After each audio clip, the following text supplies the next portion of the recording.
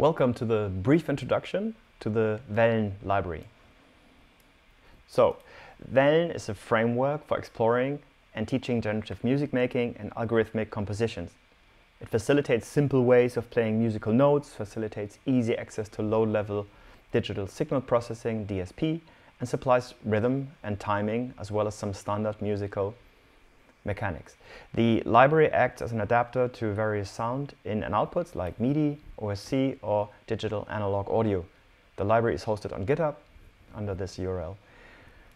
So this is the introduction text. Um, and as I said, it's, uh, it is uh, available on GitHub under this, on this page here. Um, and um, maybe let's first have a quick look at, at how to um, use this and what, what's the idea of the Wellen library. So um, I've developed this library more or less as a teaching and learning tool, um, but, but it also now evolved into more like this sketching and maybe also like proper production tool for generative music making. Um, this is the this is a library um, used in the processing.org environment. So maybe the first thing uh, we should have a look at is like how to install this. Um, so um, you, you have basically two options. First, you can download the release um, here on the GitHub page.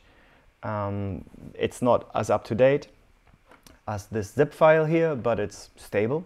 So you could do this and refer to the release number, but you can also download this zip. And then once you've downloaded this zip um, file, you can um, install this into the processing library folder, um, which looks like this on macOS. Um, I'll just copy it over. I've downloaded it before. I unzip the zip and throw it away. So now, um, now this should be installed. We need to usually need to restart processing um, to make the library accessible. Takes a while to restart. So, and the easiest way to test if it has been installed is by just opening the example folder, which looks like this, and then scrolling down to the Wellen library. And here we see um, five, six examples, and we just run the first one to see if we hear some sound. Um, if that all works, then the library's been properly installed. Okay, that works fine. So let's have a look at um, what the Wellen library is all about. So I've prepared this um, super scary schematic. Um, this uh, outlines the, the kind of the structure of the, um, the Wellen library. As I said, it was built as a, as a teaching environment. So the main focus was to, um, to well, give easy access to like um, functionality that is, sorry, that is uh, that you basic functionalities you need to um, make generative music and and um, generative compositions, etc. So the um, the the first idea of Wellen is actually to give easy access to playing notes. So um, so this is also the first example. I'm just going to run this um, briefly here. We have it open already. This is the the tone module in the Wellen library, and it allows you to turn notes on and turn notes off. There's a more in-depth description of all these examples um, um, in this playlist also on YouTube. So, um, so this is this whole tone playing notes section here, yeah, which can be controlled from your application. Then there's a, a second um, like building block of, um, of the tone library, and that is this um, DSP, digital signal processing, which is used to really send like individual samples to the underlying audio hardware. And um, what this does, actually, it, it, allows you to, to really like sonify, sonify mathematical formulas, for example here, a sine wave,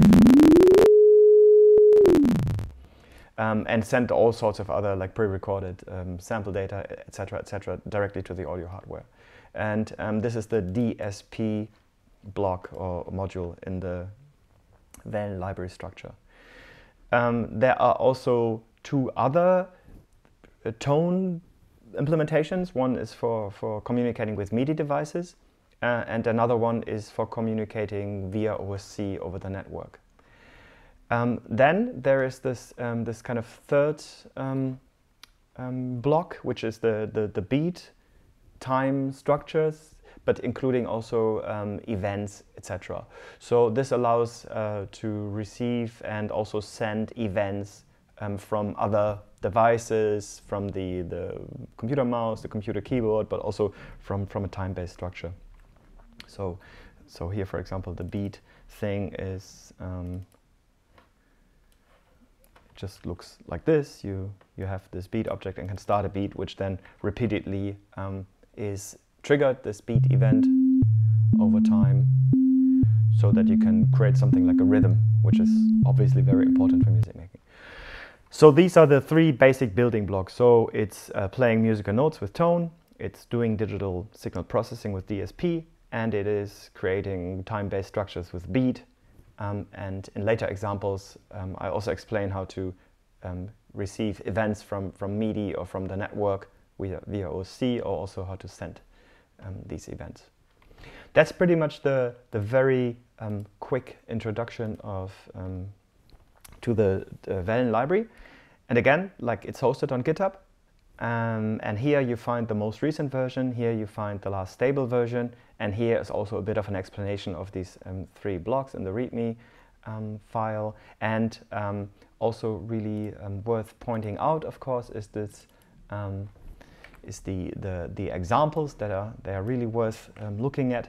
So this is the, because they explain everything in, in, in, detail through code. So we were just looking at these basic examples, but there's also an ex extended example folder with a lot of um, examples on different topics. Um, and then there is also these, um, these the third folder on applications where the library is applied in yeah, different contexts of mostly generative and algorithmic composition. So have a look at those two, um, enjoy the library and so on.